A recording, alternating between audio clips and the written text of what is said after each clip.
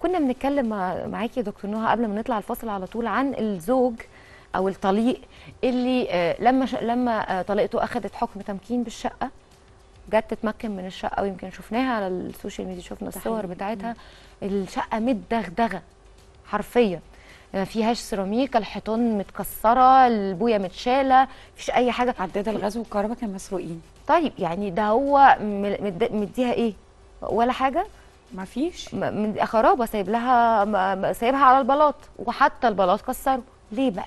ده أنا عايزة ليه التصرفات دي؟ أنا عايزة أقول لحضرتك حاجة المشكلة هي إن الزوجة وأنا كلمته أنا شخصيا. قلت له يعني أنت لو بينك وبين كانت قضيتك القضية. كانت قضيتي. أنا آه. هو طلع ترند أصلا الفترة اللي فاتت آه. عشان خاطر الست وبعدين هي بدأت الأول ببلاغ. إحنا رحنا الأول عشان ناخد قرار التمكين مع محضر التنفيذ آه، لقينا عداد الكهرباء والغاز والمية مسروقين. فرحنا توجهنا لكل شركة وعملنا محضر منفصل ورحنا اسم الشرطة وعملنا محاضر. تاني مرة عشان جه ينفذ لقينا السيراميك كله متكسر. مكسر حتى البانيو مكسره. ده كله ليه عشان ما تتمكنش؟ طب قدر ولادك. انت على خلاف بيها. ولادك هيروحوا فين؟ ولادك هيعيشوا فين؟ حكم ضميرك يا أخي المره واحدة بس وشوف ولادك دول هيعيشوا فين. ده كله عشان خاطر غل جواك وحقد جواك عشان مراتك ما تتمكنش. طب ما دول ولادك. ما هي قاعدة بتربي ولادك. اللي منك انت. هي دي مش ولاد الشارع أو جايباهم من كارفور ما هو ده ولادك أنت. فين ده كله؟ وده يخليني أسأل دكتورة دينا إيه اللي بيخ... إيه اللي بيحصل للراجل لما بيطلق؟ بيطلق عياله ليه؟ ليه نفسيا بيبقى يعني طلق؟ الست ما اتفقوش خلاص خرجنا بالمعروف أو بغير المعروف خرجنا. الس... ال... الأطفال ذنبهم إيه؟ ليه هم كمان بيتطلقوا؟ ليه هم كمان هم بيتمرمطوا؟ بيبقوا في يعني في الحالة دي بالنسبة له هم في كفه الزوجة.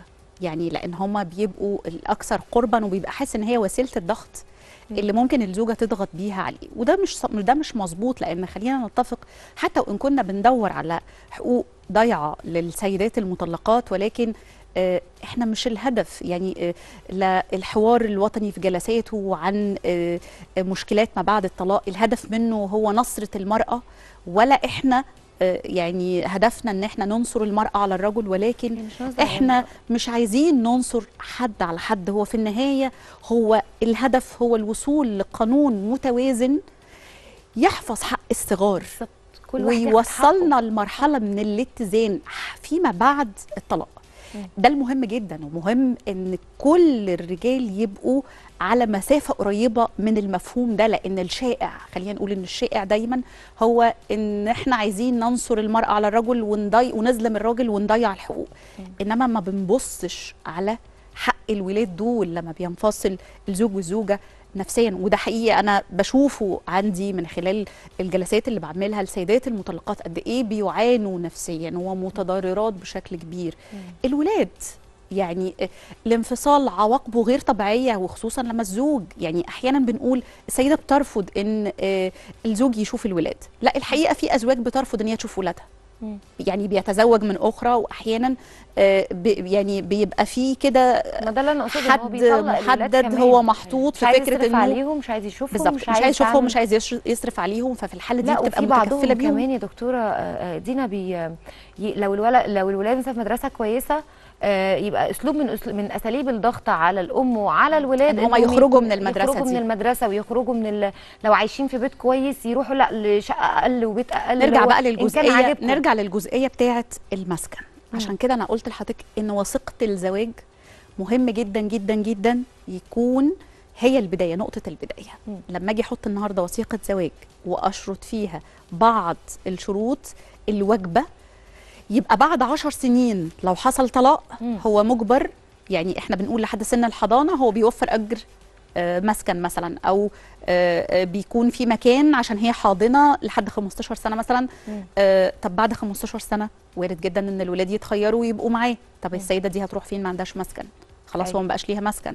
فمهم جدا إن أنا يبقى عندي مسكن من البداية تكون السيدة دي بعد مرور مدة معينة من الزواج إن يكون آه، في وثيقه الزواج إن الزوج يوفر ليها بالظبط. مسكن علشان ما تترميش في الشارع أو ما تكونش مصيرها آه، مثلا آه، دور مسنين أو أو في أو. بعض الأزواج بت... بتطلق ويمكن برضو دكتوره نوى هنا بتبقى معايا في الموضوع ده بيطلقوا بعد العمر أيوة. الكبير الطويل بعد الخمسين وبعد بالظبط. الستين. عشان كده بنقول بعد مرور يعني- مده معينة بتبص يعني- تلاقي السيدة ما عندهاش مكان. آه يعني يعني- حتى كمان فاتتها فرصة إنها تقدر تشتغل تقدر راح. تنزل عمرها راح صحتها راحت أبسط حقوقها آه. إنها تلاقي مأوى بالظبط مكان محترم. بس تكمل فيه أبسط الحقوق ممكن في سيدات بتتزوج بعدها إحنا بنقول لو في حالة اتزوجت. بنتكلم على بعد الخمسين وبعد الستين. في كل في الفرص في. في بت- خلينا نفترض. ما هو في، ما هو إحنا الفرص مش حلو. زي خلينا. برضو نحط قيود. يعني مم. خلينا نقول محددات لأن حضرتك بتحطي لما تيجي تحطي آلية للقانون وارد يبقى عندك حد آه، ما ينصش عليه القانون بالظبط أيوه فانت لازم شواذ القاعده بالظبط. فخلينا نقول لو حتى هي شواذ القاعدة. في حاله إن هو وفر ليها مأمن وهي تزوجت من آخر من حقه إن هو يسترد المكان اللي هي أي مشكلة. ولو ثبت إن هي. استغلت هذا المنزل لزوجية أخرى يوقع عليها جزاء أو يوقع عليها عقوبة بحيث إن أنا أبقى حطيت محدد. مهم إن أنا آه، آه، آخد كل الحالات حتى لو هي شواذ. مهم إن أنا أتطرق إليها. مظبوط. فأنا شايفة ان عقد الزواج أو وثيقة الزواج هي حاجة من الحاجات المهمة جدا جدا جدا.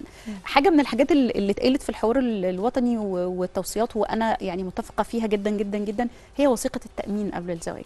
يعني وثيقة التأمين دي أعتقد إن هي آه، يعني هي هتبقى اسم على مسمى. في حال حصل انفصال يبقى فيه ما يضمن. على الأقل لحد ما تحصل الإجراءات و... ونبتدي يتخ... نخلص إشكاليات التقاضي وما إلى ذلك هنلاقي على الأقل مصدر آه، نتعايش بيه إحنا واولادنا و... في النهاية يهمنا إن إحنا يبقى آه، وصلنا لمرحلة إن إحنا خرجنا بمخرجات تقدر تغير من الواقع شيء.